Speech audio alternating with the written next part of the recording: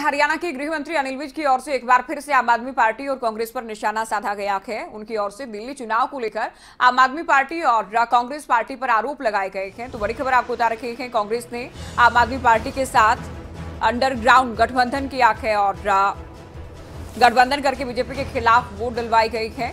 कांग्रेस का वोट प्रतिशत सिर्फ़ चार रह गया कि कहना है अनिल विज का। इसके अलावा पूर्व सांसद दीपेंद्र हुड्डा के बयान पर भी उनकी ओर से पलटवार किया गया है। उनका कहना है कि कांग्रेस को पहले अपनी हालत देखनी चाहिए। दीपेंद्र हुड्डा की ओर से दरअसल ट्वीट के ज़रिए बीजेपी पर वार किया गया था और ट्वीट में लिखा गया था कि हरियाणा में बीजेपी हाफ़, दिल्ली में साफ़।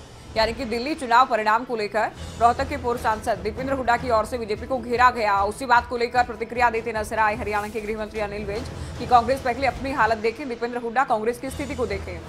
तो कांग्रेस ने अपना वोट शिफ्ट कर दिया है आम आदमी पार्टी को। अंडरग्राउंड गठबंधन किया गया, दोनों पार्टियों के बीच गठबंधन हुआ दिल्ली में।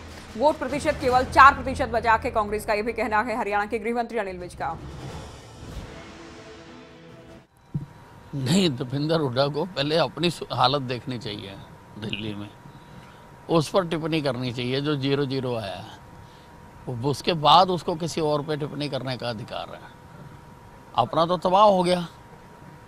और आप, आपके साथ कांग्रेस ने गठबंधन करके अंडरग्राउंड सारी वोटें आप पार्टी को डलवाई हैं, और कांग्रेस का जो वोट परसेंटेज है, वो केवल चार प्रतिशत रह गया।